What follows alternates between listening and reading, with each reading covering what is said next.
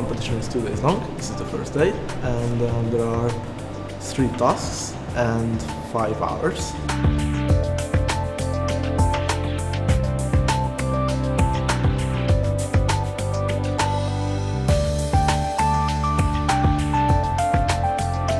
Students must design an efficient and correct algorithm for a given problem and they have to implement it. It means that they have to submit a solution as a program. We meet the effects of algorithms not only when we use our computers, also when we check the train schedule, use our GPS or travel by car and look at the traffic lights. This competition is interesting, questions are interesting and I enjoy being here. And it's um, very fun.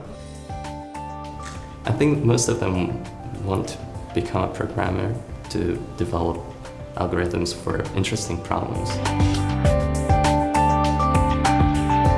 Hi everyone, my name is Mihai Stroe. I run the directions team in Google Maps. So, do you want to talk about algorithms?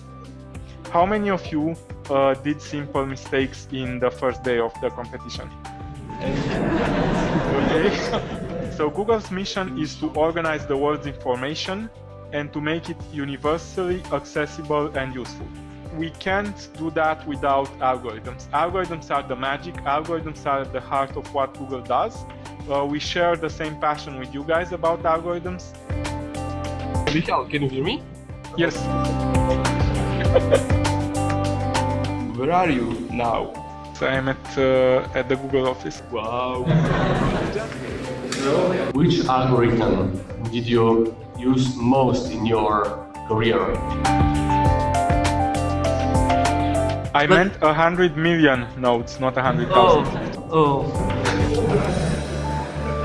when you work at Google, what are some, some of the most fun things? Part of the fun is working on interesting problems with smart people.